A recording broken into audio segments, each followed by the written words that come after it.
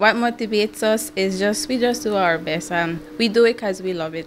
The numbers of donors have decreased, but we still have work. We still have a lot of work. Yes, COVID is um, halting many things, but the testing continues. The cancer is, is still continue. HIV, syphilis, all the other infectious diseases and sexually transmitted infections or diseases they don't stop. So the work here doesn't stop. And it can't stop because even though Central Medical Lab is the only lab certified to perform COVID 19 tests, they are also responsible for the most complex tests required to inform medical decisions for the treatment of major illnesses nationwide. Central Medical Lab is the referral lab for the country. Um, what we do, we do routine testing as per any district lab. But what we do is we do more specialized testing. The test that is not being done at the district level is being referred to us, and that is what we. That is how Central Lab is a referral lab for the country. Our primary responsibility is testing and giving results to the ministry.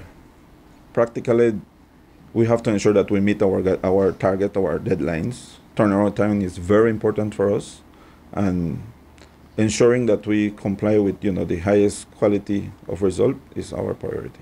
We are the only um, microbiology lab that is fully functional.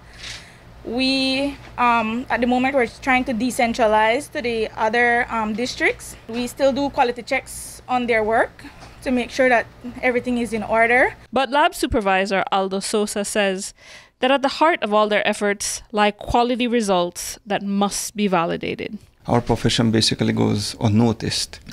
However, I, one of the things we want to stress this week is that a lot of medical decisions, in fact, research shows that about at least 80% of medical decisions are made based on laboratory results.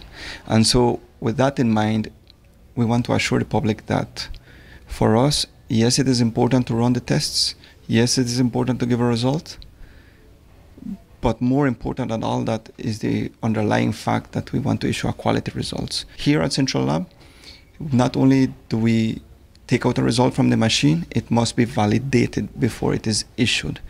I'm not sure um, how widespread that is in, in the lab community, but I'm definitely sure that here at Central Medical Lab, that is one of our uh, foundational principles. It can only be hoped that this lab week, which comes at the most challenging of times for the profession, is observed with some measure of reverence for the processes that require technical skill and precision, but also bravery. Cherise Halsell, 7 News.